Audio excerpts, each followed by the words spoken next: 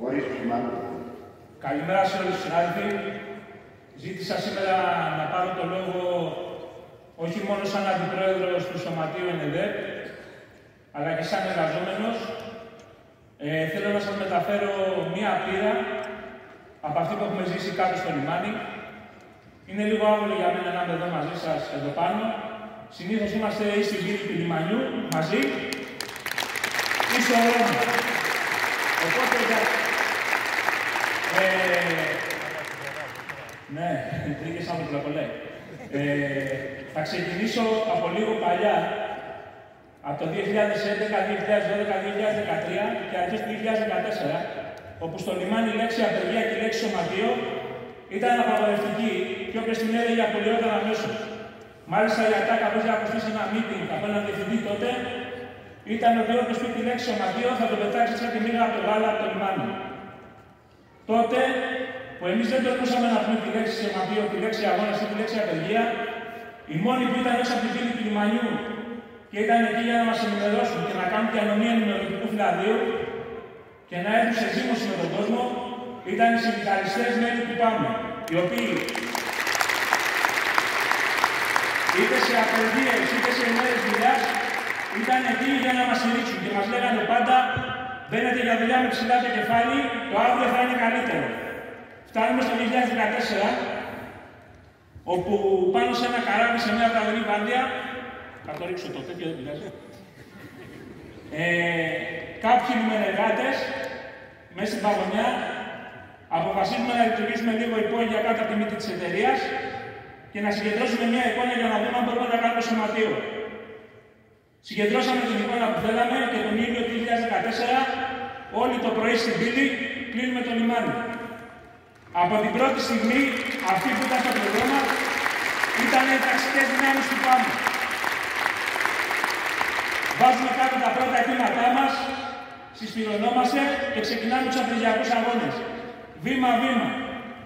Με τα λάθη μας, με τα σωστά μας. Καταφέρουμε και κερδίζουμε τις πρώτες διεκδικήσεις. Ο καιρός περνάει. Ο κόσμος περισσότερο συσπηρώνει το σωματείο μας.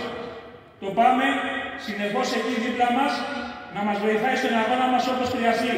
Χωρίς ποτέ να ζητηθεί κανένα αντάλλαγμα, χωρίς ποτέ να μας ρωτήσουν ποιοι είμαστε, χωρίς ποτέ να μας ρωτήσουν τι ψηφίζουμε και χωρίς ποτέ να πετύχει πολύ άλλη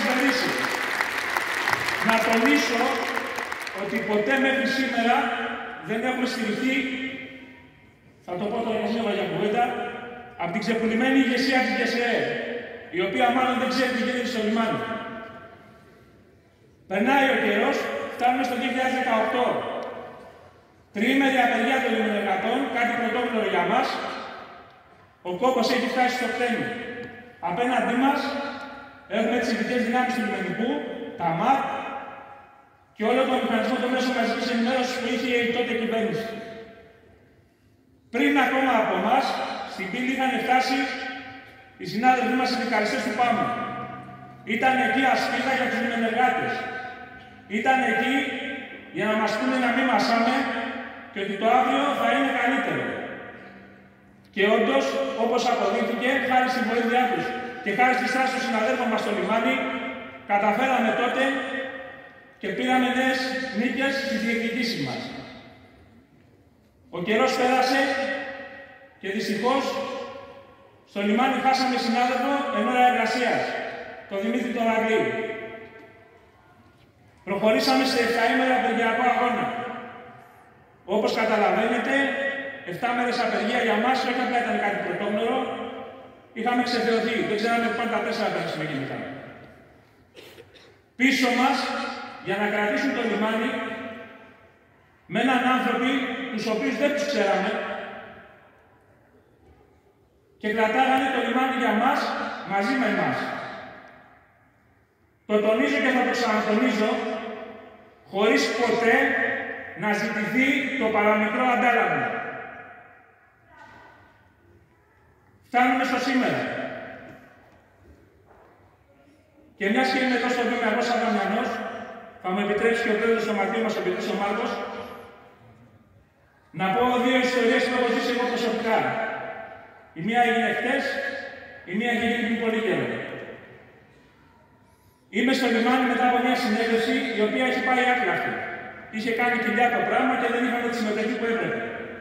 Πολύ μικρή συμμετοχή του κόσμου. Ο κόσμος είχε κουραστεί, είχε έρθει μια απογοήτευση όπως καταλαβαίνετε. Και είμαι τρελαμένος στο λιμάνι και κόβω βόλτες έξω στο πάρκο του λιμανιού. Και σκάει από το πουθενά, τότε δεν τον ήξερα τον άνθρωπο, ο κύριος Γιώργος Σοπέρο.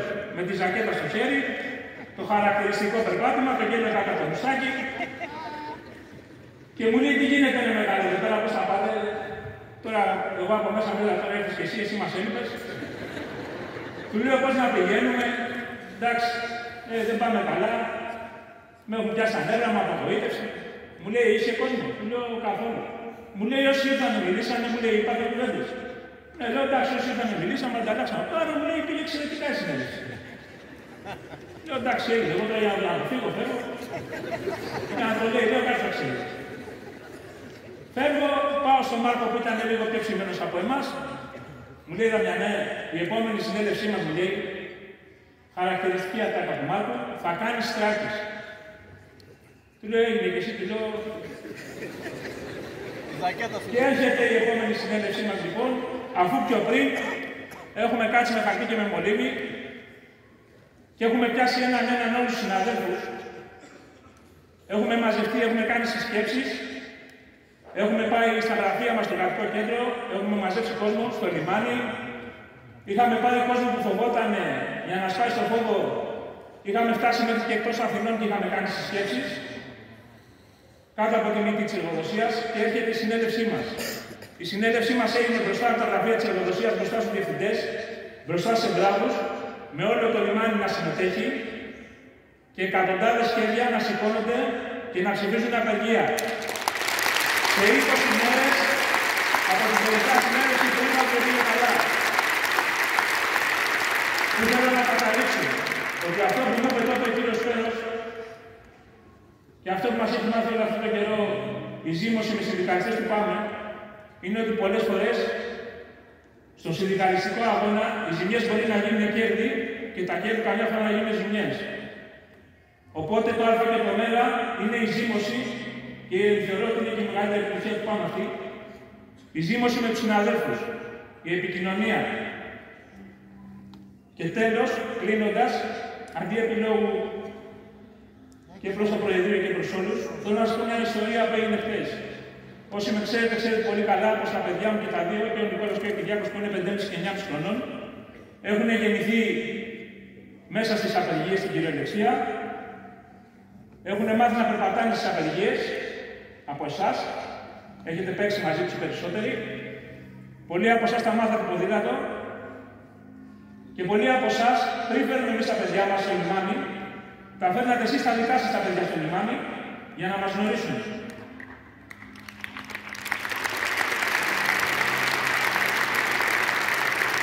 Λοιπόν, η μεγαλύτερη επιτυχία για μένα ήταν εχθές, όταν ήρθα και είπα στα παιδιά μου, παιδιά, συγγνώμη, αύριο στο μοναδικό ρεπό που έχεις ο μπαμπά τη δουλειά, δεν θα μπορέσει να είναι μαζί σας, ε, γιατί πρέπει να πάω στο συνέδριο που έχεις το πάμε.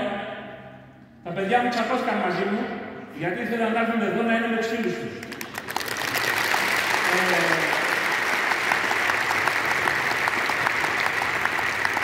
Κλείνοντας λοιπόν, θέλω να πω καλή επιτυχία στο συνέδριό μας. Αύριο η εργατική τάξη να είναι ακόμα δυνατότερη. Το αύριο είναι σίγουρα καλύτερο όσο έχουμε ανθρώπους και στέκονται δίπλα μας και εκφράζουν την αλληλεγγύη τους. Κανείς εργάτης να μην είναι μόνος του. Δυνατός εργάτης είναι ο οργανωμένος εργάτης και ακόμα δυνατότερος εργάτης είναι ο εργάτης που είναι οργανωμένος στο πάνω. Ευχαριστώ πολύ. Καλή συνέχεια στην